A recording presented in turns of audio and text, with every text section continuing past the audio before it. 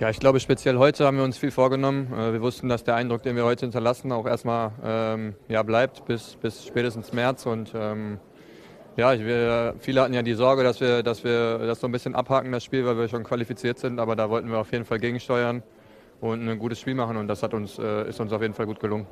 Es war ja auch eine Frage um Körperlichkeit, ging es auch äh, bei ein paar Mal, auch bei Jogi Löw. Das war ja heute auch dann der ultimative Test für Bestehen gegen harte Gegner.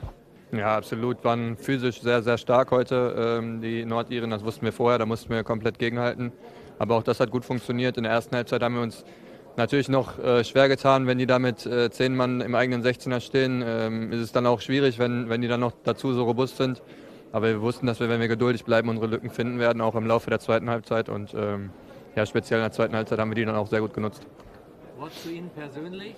Dortmund und die zwei Länderspiele hat schon schlechtere Zeiten für Sie gegeben. Fühlen Sie sich da vorne, ein bisschen weiter vorn, auch noch wohler?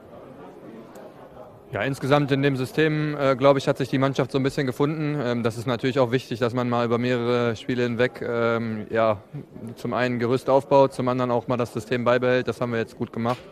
Ähm, ja, speziell wie ich gerade schon angesprochen habe, erste Halbzeit war es ein bisschen schwierig für mich, ähm, weil man ja dann irgendwo die Aufgabe hat, auch die Gegner zu binden und dann auf dem engen Raum ähm, für mich ungewohnt, dann mich immer noch zwischen den vielen Verteidigern aufzuhalten. Am liebsten wird man natürlich da raus und auch einfach mal ein paar Ballkontakte sammeln.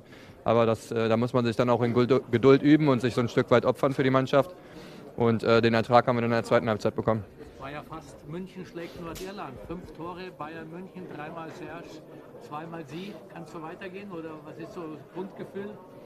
Ja, natürlich ähm, hat, hat, mich das gefreut, auch für Serge, aber ganz speziell auch für Jule der am Ende noch äh, sich für eine heute meiner Meinung nach sehr gute Leistung äh, belohnt hat. Und äh, das waren dann die drei vorne, die die Tore gemacht haben. So soll es da irgendwo auch sein. Und äh, dementsprechend habe ich mich für alle, für alle gefreut.